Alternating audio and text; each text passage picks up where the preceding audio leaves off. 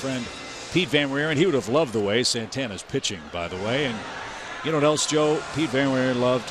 He loved ball players that appreciated the game and played the game the right way. And I can't think of anybody that personified that more than the man on the phone with us, and that's Braves hero Mark Lemke, the Lemmer.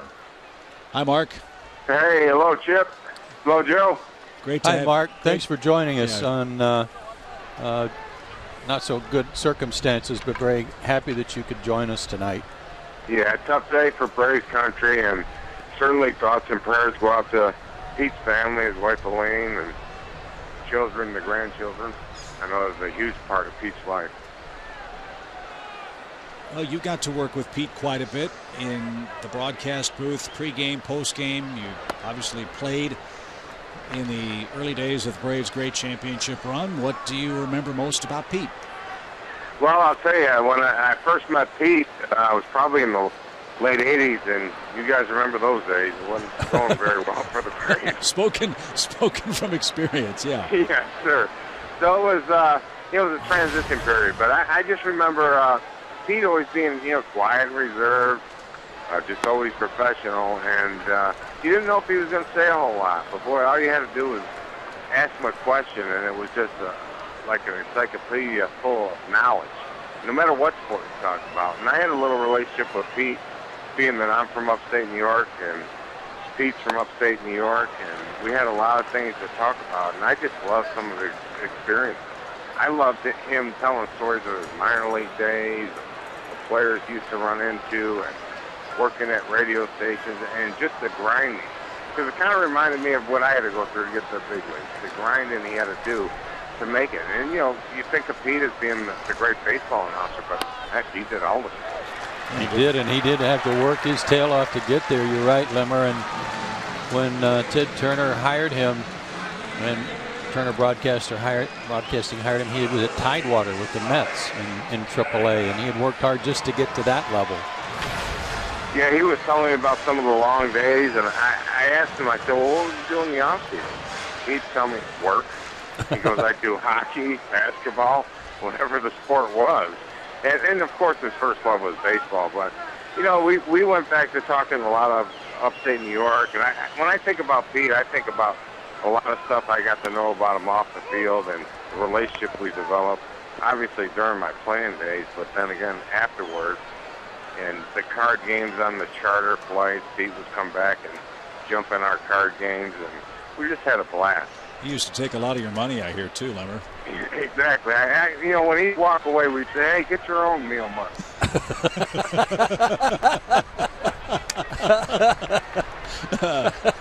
But he was one of the guys. I mean, look, we, we know our place as broadcasters. We're not players. We're not in uniform. Um, but one thing that always characterized the Braves organization, Mark, was how welcoming the players were to broadcast guys and gals like us. We, it really was a family type atmosphere, but I think more so Pete than anybody else because of all the attributes we've talked about all night long uh, and the memories we've shared about Pete. I mean, he, he, he was welcome in, in just about any uh, gathering uh, of executives, of players, managers, coaches, broadcasters, you name it. He, he fit in. Well, and, and that's why I mentioned that card game because you know there is a little bit of that uh, that line that you know maybe Right. you don't cross if you're not the players, you don't go back into it, but it was never the case, Pete. And, and I think during the, the the early years of the '90s, people talked about the success of the Atlanta Braves, and they talked the great chemistry amongst the players in the clubhouse. But I think I think that was started by the broadcast crew. When you think about Ernie, uh, your your dad Skip and Pete and those guys, I mean that was a family right there. You talk about great chemistry. I, I think those guys set the standard. Wow, that's really something. What a compliment to the to the three guys. And, and you know, of course, and Joe, when you came in and Don came in, it, it's almost like new guys who came to Atlanta Braves would say, "What an easy transition this is to make." Yeah, they made it easy for us, Mark. And I was just saying that to Don a minute ago that it's uh, I was embraced with open arms and knew that if I needed to know anything about how the Atlanta Braves operated, how uh, whether it was travel or the team or minor leagues or anything else, I knew to go to Pete and he would fill me in. He is amazing because like Pete wasn't one of those guys to really sit there and brag about himself and tell you all the things he accomplished. You had to you had to ask him some questions, and it was amazing. Yeah, I never knew. You know, he he was traveling secretary. He did all the other things that he did besides broadcasting, and he handled so many responsibilities. And unfortunately, when you play, you don't get to hear him call the games. But the great thing about TBS is everybody around the country was, you know, able to listen to all the games, and, and it just drew. Like you look in the stands in, in San Diego, and so many Atlanta Braves fans out there. Sure, absolutely. And you know, it, I think I've always thought about this that the Superstation brought the games to the fans all over the United States and the world. But if they didn't like the broadcasters, they weren't going to listen. They may not even be Atlanta Braves fans, but if there was something about the broadcasters that irritated them, irritated them, they're not going to listen. But they loved Pete and they loved Skip and they loved Ernie, and they became loyal fans of the Atlanta team because of them. And I think the broadcasters were so knowledgeable. They taught people the game. They taught them about the players and entertained them. And, uh, you know, Pete just had that soothing voice that you could just sit there and listen to all night long. Right. Yeah, I said earlier tonight, Mark, he's our, Lim, our Vin Scully. Um, yes, sir. Uh, because of the way our fans loved him and admired him. We all loved him and loved listen, listening to him. He was soothing. And I was happy to see that he got to enjoy some years. He mentioned the tough schedule quite a bit, you know, and we all know that every one of us that's been in the game, what a grind it is, travel, especially during those early years, and, and Pete had more of those years than I did of, you know, the Atlanta Braves being on the West Coast, or in the Western Division. Right. And uh, he got to do what he loved to do. And that was amazing because when you looked at a guy like Pete, you thought baseball was all there was to him from the outside. But then you realize this guy had a whole lot more, loved his family, his grandchildren. Yeah, he used to say all the time, Uh, you think it's fun covering baseball, just wait till you have grandchildren. And he, every time you talk about his three grandchildren, his face would light up. I mean, he loved being a grandfather, loved being a dad. I think for all of us who work in this business, we miss out on half of our kids' lives because of our job. It takes us away from home. Much of that burden falls on the wife at home. But a second chance with grandchildren came for Pete Van Wieren, and he loved them to death. In fact, you know, a lot of folks didn't get to know Pete beyond the broadcast part. We're going to show you a picture. Did you know that Pete Van Wieren was a rock and roll drummer? How about this?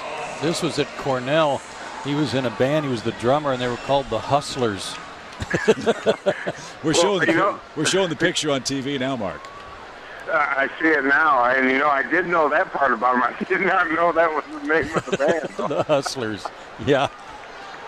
I mean, check him out, man. He looks yeah. he looks good back behind the kid, and that and that's Pete. I mean, he his nickname was the Professor, but in many ways he was anything but professorial.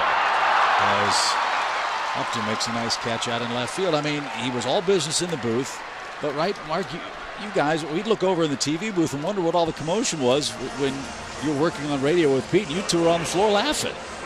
no doubt about it. What a great sense of humor he has. Kind of a quick wit, dry sense of humor, but just funny. And there wasn't a subject you could bring up that Pete didn't know anything about or wasn't familiar about. He just was a, just a guy that was so well-rounded. Yeah, I, I, was. You took the words right out of my mouth. We've we've been talking a lot about his knowledge of the game and how much work he put into it. But he could talk to you. He was well read. He could talk to you about any subject, whether, whether you're on the bus, whether you're on the plane, or just sitting around having coffee in the morning. Bring up a subject. Pete knew a little something about it. Yeah, he sure did. And you know, it's it's still a shock to me. I, you know, getting the news this morning and you know, and just thinking about all the great memories and times. And, you know, I, I had the time, uh, Chip, when your dad passed away, to have to fill in and work with Pete during those, those days. And I know how tough it was on him. And it kind of feels the same way all over again. But yeah, it does. A lot of a lot of great memories, and he just, you know, during that time, it was him sharing those great stories of those guys having the, the time of their life they did working together. That was a family, and, and in many ways it still is. It's different, but it's still a great family. And, and as I said before, he was. Uh, let me put it this way: he was the good child. Dad, Dad was the one that always got in trouble. is that fair to say? Yeah. Uh, I, I think better you said it than me. Well, Yeah, that, well, either way, they I know they had a lot of fun together, and uh, you know I really enjoyed that time. And, and Pete said one time we were in Arizona after we got through San Francisco after that first uh, trip on the road trip, and he said, that you know, it's time we have a good laugh. well, Mark, thanks for sharing your memories of Pete. I can only imagine the production meeting in heaven tonight as we smile with the professor as we go to break before the fifth inning.